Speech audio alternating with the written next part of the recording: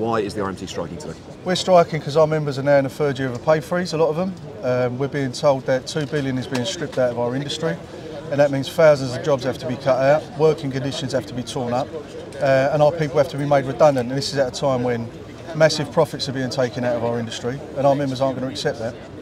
Can you put a bit more context on the level of wealth inequality within the industry? Because, like you said, profits are being made, aren't you? There's money moving around. Loads of money. So there's 500 million every year being made in cold money profits uh, with these private companies. We've got organisations called rolling stock leasing companies, which basically take taxpayers' money, buy trains, and then lease them back to the railway at extortionate rates. They took three billion in the worst year of the health emergency.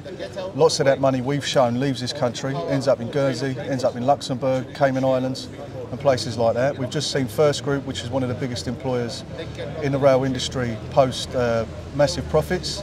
Just yesterday, I think they've got their AGM today. They're going to pay out 8.1 million in dividends. Their CEO, he's going to earn up to 1.6 million. So our members are looking at that, and they're not stupid. They see where their money's going, uh, and it's going out of this country and into tax havens when it should be going into their pockets. This touches on broader themes, doesn't it? It's Yeah. not. It's not just about. Obviously, it's important, but it's not just about the workers here. You're talking about tax avoidance. You're talking about wealth inequality. Yeah. These are broader issues in British society. So what we've seen for the last 30, well, for my whole life really, we've seen living standards falling. We've seen wages not keeping up with inflation. At the same time, profits have been escalating and going through the roof. Profits have really not exceeded inflation over the last 30, 40 years. Uh, and at the same time, our public services are being eaten alive by these private companies. They're in our NHS, they're in our railways. We've seen our education commodified, we've seen our social housing sold off, we've seen our pensions plundered.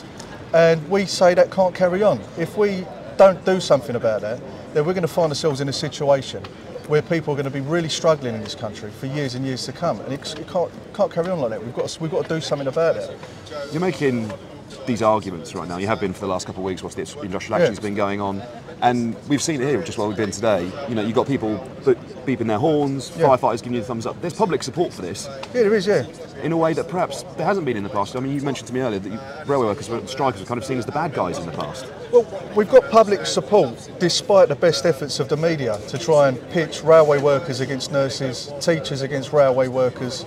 Uh, they always try to play the division card. Uh, but at the bottom of it, everyone in this country knows that they're being mugged. They know deep down in their hearts when their kids are going to university and they're being loaded with debt, when they can't get social housing, when they can't retire in dignity. I don't know what your parents are doing. My father worked his whole life. He's living in a council flat on a state pension and I've got to look after him. Now that's not right. Not in the sixth richest economy on the planet. Not when people are taking profits out of this country at an extortionate rate. That's got to be stopped. And the government's answer to the cost of living crisis is to push wages down, to criminalise dissent against poverty, and to let profits and let prices rip. And we think that's got to be changed. We need a redistributive set of politics in this country that takes those profits and puts them where they need to be in public services, in the pockets of working class families, and making sure that people can retire in dignity. Why don't you think anyone's making these arguments within British electoral politics? Well, you'd have to ask some of the politicians, but I think the politicians in this country really are aligned with the big corporations. I think they should have to wear their sponsors on their suits and on their dresses when they go into that uh, place over there. They'd look like Formula One drivers if they did. I think Liz Truss, she'd have a Pfizer sticker on her forehead and a, you know, another corporation on her elbow, if you like. You know, that's where it is. So these people don't represent the interests of the people in this country. They represent the interests of big corporations who are taking this country for a ride, and that has got to stop. In the Tory leadership debate, uh, not last night, the one before, both Rishi Sunak and Liz Truss were asked whether they would legally ban strikes in essential services, and they both immediately said, "Yes, I will." Hmm. What's your response to that? Well, right now, according to the Global Trade Union Congress, they do an index of trade union freedoms around the world every year. We're on the same level as Russia, right? Right now, and that's regular and systematic violations of trade union freedoms in this country. The right to bargain, the right to join a union, the right to take action, and the rest of it. She wants to criminalise dissent against poverty. And if you look at what's happened, the reason people are so poor and not doing so well in the economy now is because successive governments have tried to, through politics, take away the ability of working people to bargain for better wages. Now, the Bank of International Settlements just did a study into whether there's actually a risk of a wage price spiral. So they keep saying you can't have a pay rise because we're going to have a wage price spiral. Well, that's just a free card trick designed to keep people skint because if you look at what's really going on, as I said, the Bank of Interna- International Settlements has shown the inflationary impact of wages across developed economies in the West now is at zero or in negative terms. If you go back 30 years, the share of wealth that was accrued through sales in the economy that went to wages was much higher and the share that went to profits was much lower. That's completely reversed. Right now, the vast majority of it goes in the form of profits. So if you've got rising demand because the supply side of the economy's uh, screwed up through the global, global wealth emergency, you've got prices going up but wages being kept. All that means is that more is being taken out in profits. It doesn't mean anyone's getting a fair shake. It just means more profits are being taken at the expense of workers' wages, and that has got to change. And all this talk about a free, uh, about a wage price spiral is just a free card trick designed to keep people poor. There's power in the union. There is power in the union, and that is why the government's policy is to take away our ability to bargain for workers. Because what they're worried about isn't a wage price spiral. They're not even worried about whether we get a good pay rise this year. What they're really worried about in this country is a shift in class power.